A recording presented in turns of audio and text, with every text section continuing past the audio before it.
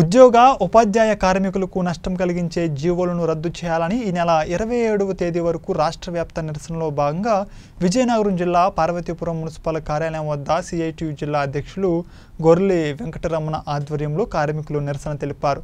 ఈ సందర్భంగా వెంకటరమణ మాట్లాడుతూ రాష్ట్ర ప్రభుత్వం పదకొండవ పిఆర్సీ ఆధారంగా ఈ నెల పదిహేడున జారీ చేసిన జీవోలు ఉద్యోగులకు కార్మికుల మనోభావాన్ని దెబ్బతీసే విధంగా ఉన్నాయన్నారు.